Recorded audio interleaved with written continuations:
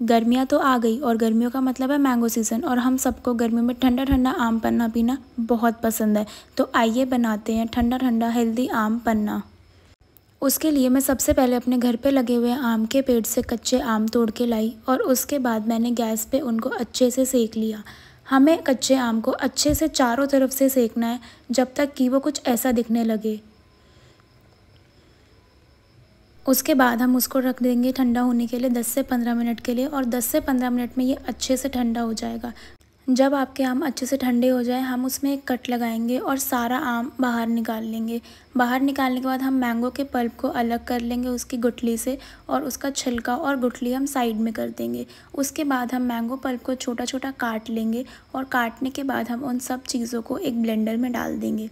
Blender में आम डालने के बाद हम उसमें डालेंगे पंद्रह से बीस पुदीने के पत्ते और उनको अच्छे से ग्राइंड करेंगे जब तक कि वो एक स्मूथ कंसिस्टेंसी में ना आ जाए।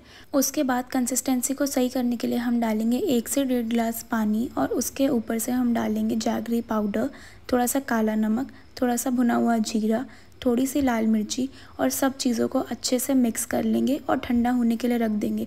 जब वो अच्छे से ठंडा हो जाएगा, हम ग्लास में डालेंगे बर्फ़ और हमारा आम पन्ना। ऊपर से थोड़ी और बर्फ़ और हमारा आम पन्ना बिल्कुल तैयार